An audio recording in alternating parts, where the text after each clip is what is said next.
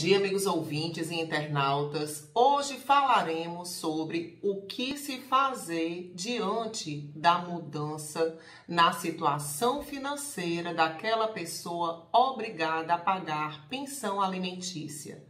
O caso prático é o seguinte: um homem teve um filho com uma mulher.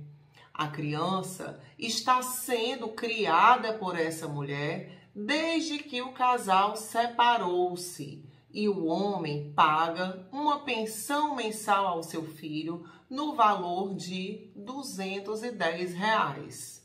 Acontece que quando essa pensão alimentícia foi fixada, o homem era um trabalhador autônomo, ele não tinha vínculo formal de emprego. Com o passar do tempo, a situação financeira desse homem mudou.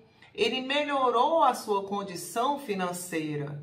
E aí, essa pensão deve continuar sendo paga no valor de 210 reais, ou ela deve sofrer um ajuste em conformidade com as condições financeiras daquele que paga a pensão? O que nós temos a dizer é que o valor da pensão alimentícia deve ser equivalente à condição financeira daquele responsável pelo seu pagamento. Uma criança, ela deve gozar dos mesmos benefícios materiais que usufruem os seus pais, sobretudo quando essa criança é recebedora de pensão alimentícia. Cabe aí aquela pessoa que está com os cuidados da criança, administrando essa pensão alimentícia recebida para o provimento do menor, ingressar com uma ação revisional de alimentos.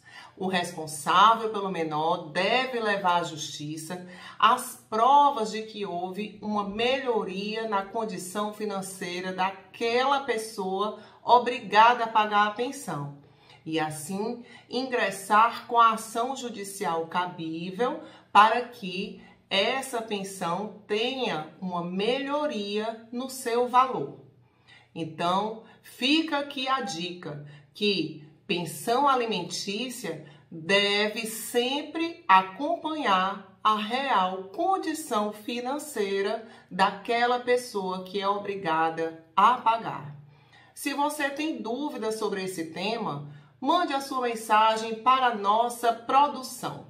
Eu sou Ana Zélia, para o jornal Alerta Geral.